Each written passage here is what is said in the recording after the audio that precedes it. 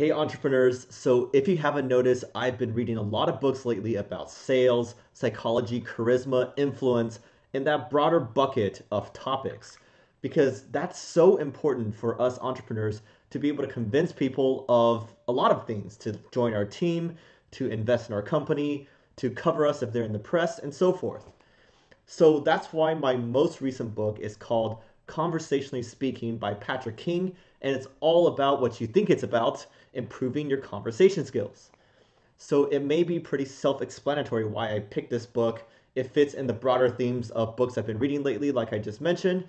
But also, conversations are a very important part of getting people to like you, giving them a good impression, and being able to convince them on what you're setting out to do. So, without further ado, here are my top three tips that I learned from this book. Number one tip is that you can prepare to give better answers to people's common questions. So if you think about it, a lot of people start off with common questions like, What's up? or How are you? These are super overused and they often lead to one liner conversations. But the good news is that you can prepare for these in advance because we get them so much. Some things that you don't want to do are conversation killers, like I'm fine, thanks, or so forth. These are super broad and vague answers, and they're not good for driving forward your conversation. So instead, what you should do is respond with answers that lead to more questions. You can start with a personal story. For example, I'm doing great. I just got back from a trip to Rome. And then this draws them in, and then they can throw in their own stories from which you can bounce off of. So that's a quick and easy tip on how to not kill your conversations at the first get go. Number two tip is how we end our conversations is also super important because this is based on the recency effect. And what that is, is that the most recent things that happen are the most noticeable or memorable. So, some things to note about finishing conversations is don't cut them off and bow out too soon. Give them the ability to finish developing their story and also give them the feedback that they're looking for because every conversation, if you think about it, has some purpose, whether that be entertainment, information gathering, or pleasure. The author talks about more of these in the book. I'm not going to cover this right now, but it's pretty self explanatory too. One thing that he recommends is that giving a witty summary, like a joke or a witty comment about what you just talked about, is a great way to end the conversation and wrap it up nicely, making them want to talk to you more in the future.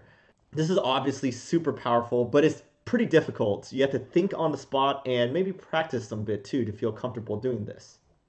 Last but not least, tip number three is body language. And so if you think about it, only a small part of your overall communication is from your words. There are a lot of cumulative signals you sent from your face, from your body language, that need to all be aligned in order to be sending a consistent message. If they aren't aligned, you'll be giving off mixed signals, which could make them have a bad gut feeling about you. So you don't want to do that.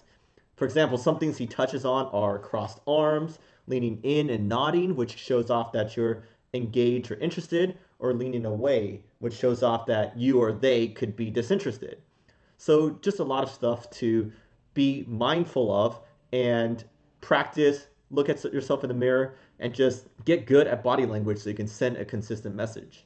So, that's it for my three tips, but I also want to touch on some broader thoughts about this book it's interesting because the author is also a social skills and dating coach, and some reviewers didn't like that about him, especially the part of the books where he brings up those dating examples were turn off for several reviewers.